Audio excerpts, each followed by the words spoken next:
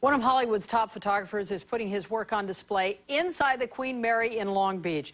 Michael Childers' Rockin' Hollywood exhibit takes a revealing look at people you thought you already knew.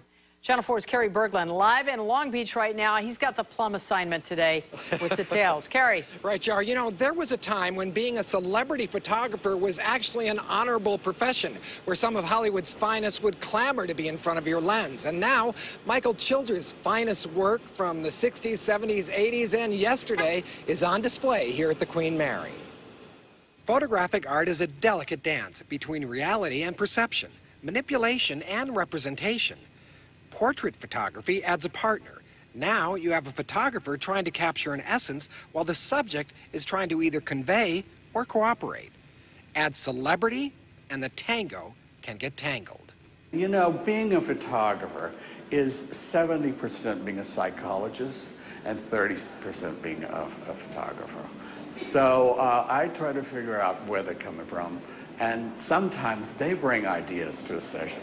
Michael Childers has been photographing icons and legends of the entertainment world for decades. Some of his classic work on display now at the Queen Mary in Long Beach. I want to find the, the one, the shots that have the essence of their personality. They might not know their personality yet. And obviously for Childers, these were people for whom he had great affection and admiration. These great actors are thoroughbred horses. They're not like you and I. They are, they are gifted people.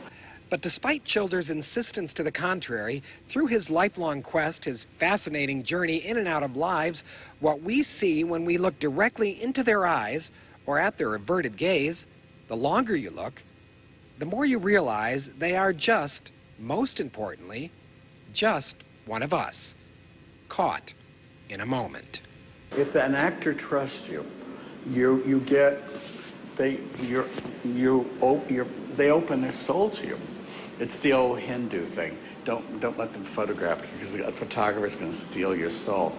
I think that's true.